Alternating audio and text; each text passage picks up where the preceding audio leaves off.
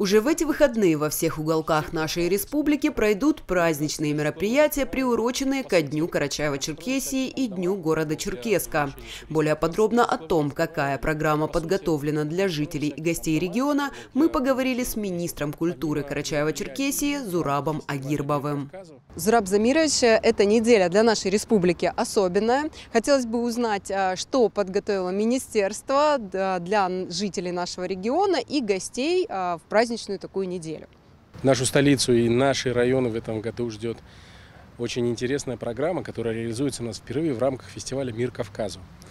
В наш регион на фестиваль приезжают 12 наших дружественных братских регионов. Это представители и Северного Кавказа, и Южного федерального округа, и новых территорий. Даже наши э, друзья из Южной Осетии и Республики Абхазия. Фестиваль будет проходить у нас два дня первый день коллективы разъедутся по районам, чтобы своим творчеством порадовать не только жителей столицы, но и каждого райцентра.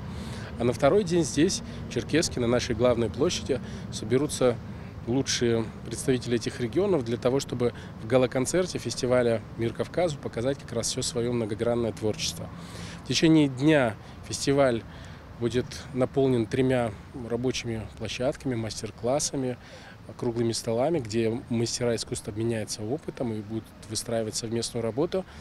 А, кроме того, на улице Первомайской каждый из регионов представит небольшую экспозицию в рамках улицы Дружбы, где будут представлены а, работы народных художественных промыслов.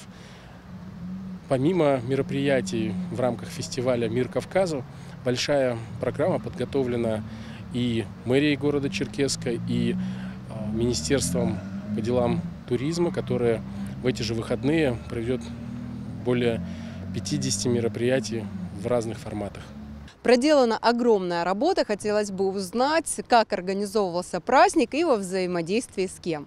Ну, вообще фестиваль «Мир Кавказу» традиционно реализуется при поддержке Министерства культуры Российской Федерации. Нашему региону выделена субсидия на организацию этого праздника. И для нас большая честь, что регионы откликнулись на такое приглашение и приехали к нам, чтобы поздравить нас в День Республики. Ну и, конечно, показать себя, потому что фестиваль этот традиционный, он проходит уже 22 раз, и из года в год меняет регион проведения. В этом году нам удалось приурочить его именно к нашему празднику. Если говорить об основных точках проведения мероприятий, где конкретно они будут располагаться? Программа праздничных мероприятий, которая запланирована у нас на 15 на 16 сентября, довольно обширна и специально для удобства жителей города она распространяется не только на центральную часть города, не только на Зеленый остров, которыми, которые станут, конечно, ключевыми местами проведения, но и в нашем новом парке в районе завода РТИ на улице Гутикулова, а также на, новом, на новой аллее в районе улицы Даватора также пройдет большая программа для детей и взрослых. Это достаточно масштабное мероприятие, и таких было не одно в этом году. Хотелось бы узнать, вот какие а, особенно яркими были, и что планируется министерством в оставшиеся три месяца. Для нас важно, что этот год, наверное, первый год, когда мы полноценно вышли из пандемии, стал насыщенным в культурной жизни. Мы видели фестивали, которые проводили различные министерства, мы видели артистов, которые приезжали к нам со всей страны для того, чтобы и узнать нашу республику, и рассказать о своем творчестве. И День республики в этом году главный, наш самый большой праздник. Ну и отрадно, что наш амфитеатр в этом году не пустовал практически ни одну неделю, и постоянная череда концертов. Сейчас мы прорабатываем еще несколько концертов, но основная задача наша, конечно, чтобы они не только в Черкеске проходили, но и в районных центрах. И даже в каждом дворце культуры, которых у нас сейчас работает много после ремонтов, проходили активные интересные мероприятия. Что бы вы могли сказать, как публика сейчас реагирует на культурные такие мероприятия, более активно или все-таки еще немного после пандемии не отошли? Как вы считаете? Если оценивать э, реакцию наших зрителей, конечно, приятно, что она становится все более и более позитивной. А, возвращается привычка ходить на мероприятия, которая, к сожалению, была утеряна во время пандемии. Это было серьезное испытание. Сейчас, конечно, важно, чтобы очень разнообразный продукт был представлен в культуре, чтобы каждый зритель мог найти то, что ему по душе. И до конца года еще мы представим несколько интересных проектов. У нас в планах привести классический балет сюда и работа наших а, оркестров будет также в новом формате представлена. Артисты наших госучреждений и соседей из других регионов на осенне-зимний период этого года запланировали большую программу, поэтому мы приглашаем всех любителей культуры следить за анонсами, обязательно подписаться на телеграм-канал Министерства культуры, где эта вся информация анонсируется. Ну и пользоваться общей нашей афишей, где все анонсы мы публикуем. Это сайт Яндекс Афиша, Карачаево-Черкесия. Там можно приобрести билеты, в том числе по пушкинской карте, которая бесплатно дает ребятишкам от 14 до 22 лет молодежи приобретать билеты на эти мероприятия.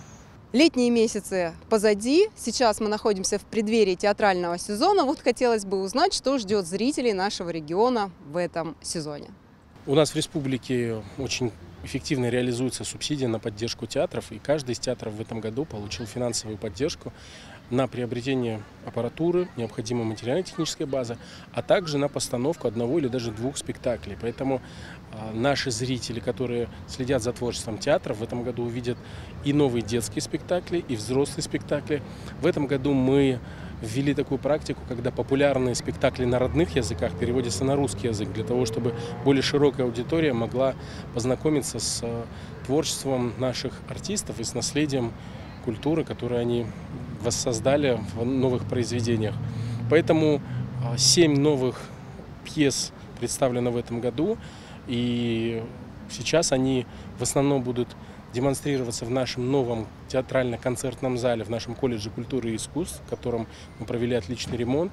И сейчас, уже вот буквально на этой неделе, новый зал открывает свои двери для того, чтобы именно в театральном зале с большой сценой, с кулисами, с хорошей акустикой. Зритель мог наслаждаться театром, пока мы завершаем работу над проектом и ждем финансирования работ по реконструкции нашего здания драматического театра.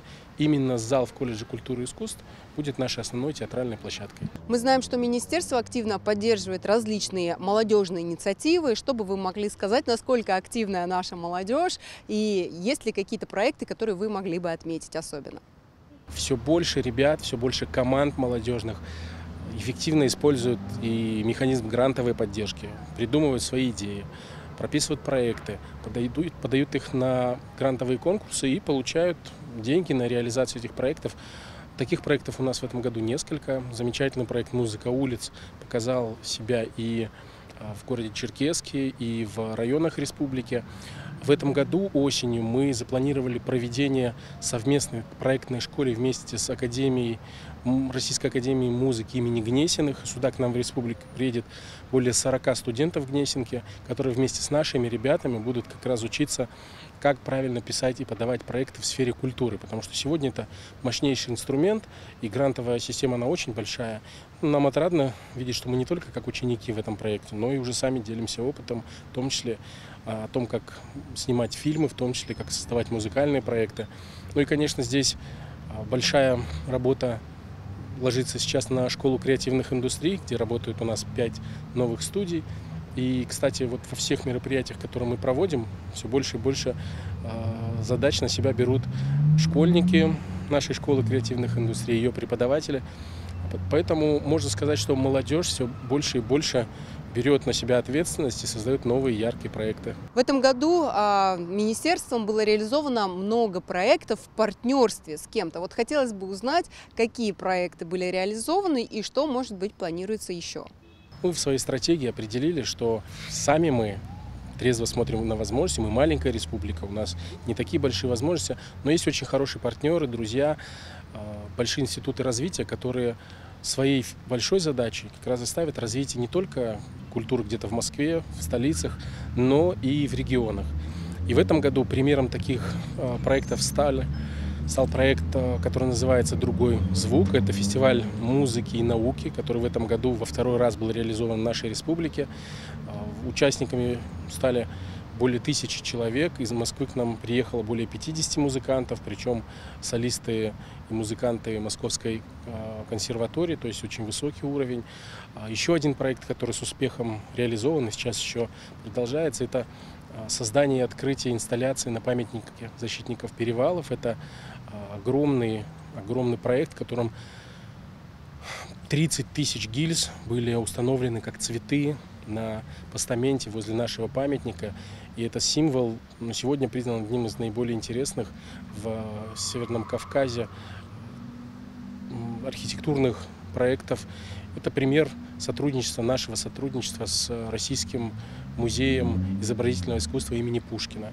Соответственно, каждый такой проект для нас дает возможность э, самим набираться опыта, привлекать ресурс как финансовый, так и экспертный, таких серьезных партнеров и двигаться дальше. На следующий год и до конца этого года у нас еще есть такие проекты, поэтому следите за нашими новостями.